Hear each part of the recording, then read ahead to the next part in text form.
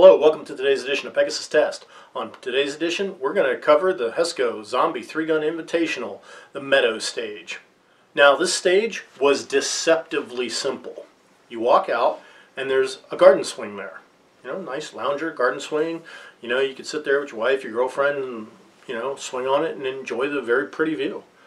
But the problem was there was half a dozen zombie targets. And what I mean, there was half a dozen mini IPSC swingers set up from about roughly 75 to 300 yards-ish. Those are estimates on my part, don't hold me to them. And all you had to do was with your 100 second par time, get six hits, one on each target. That's all you had to do. The problem was, like I said, way easy, uh, looked way easier than it actually was. Um, go ahead and take a look at what I did and then I'll explain what my plan was versus what actually happened. But I didn't think about it. Oh, But I didn't have time. Oh well. I zeroed this yesterday, but it was raining yesterday.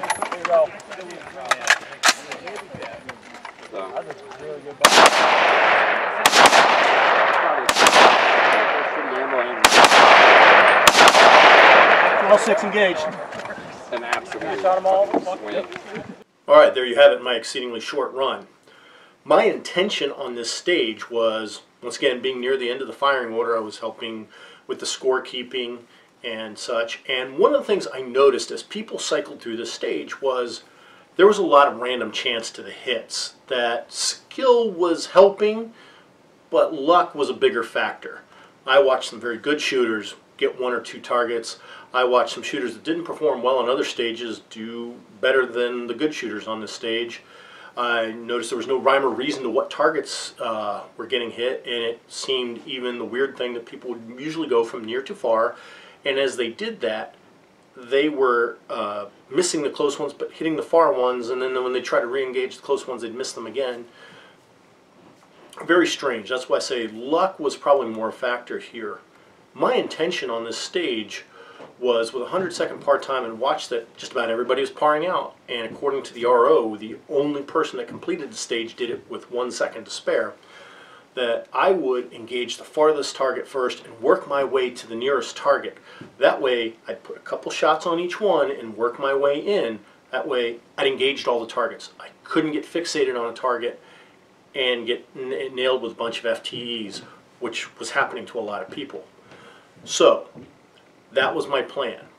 And then reality hit. The buzzer went off and I sat down, I took my first two shots, and I had a malfunction. Now here's where perception versus reality starts to deviate. In my perception, it took forever, like eight years for me to clear that freaking malfunction. To the people watching me, I cleared it lickety split. People were complimenting me afterwards.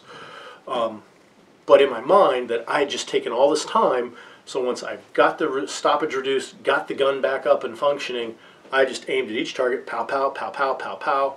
And when I engaged the closest one, I figured this buzzer's, go, buzzer's going off any second now. And I was just like, all targets engaged, and just stopped what I did.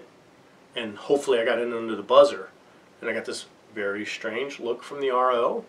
Then said okay, and showed me the timer, and only 26.74 seconds had elapsed in my mind, days had gone by uh, trying to fix that uh, stoppage. And I didn't realize that I had a whole lot more time to carry out my plan than I thought I did. I thought I was just lucky enough to get my shots off before the buzzer went off. And I was completely wrong there. Now it turns out a lot of people were not happy with this stage and I guess they had a very low success rate. At this point, even at the end of the match, all I know is only one person completed it and I saw two people get to five. And apparently that was a pretty rare occurrence too. So the uh, match director decided to throw this stage out. And I'm very, very happy that they did that uh, because each miss that you had was 10 seconds.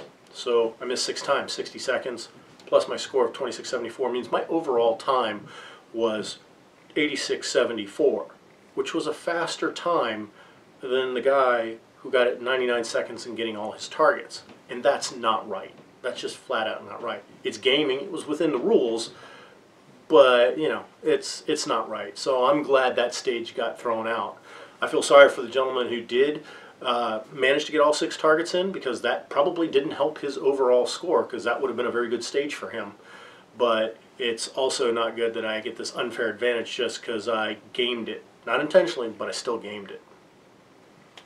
We hope you found this edition of Pegasus Test helpful and informative. Please comment, like, and subscribe, and tune in for more coverage of the HESCO Zombie Invitational 3 Gun 2020.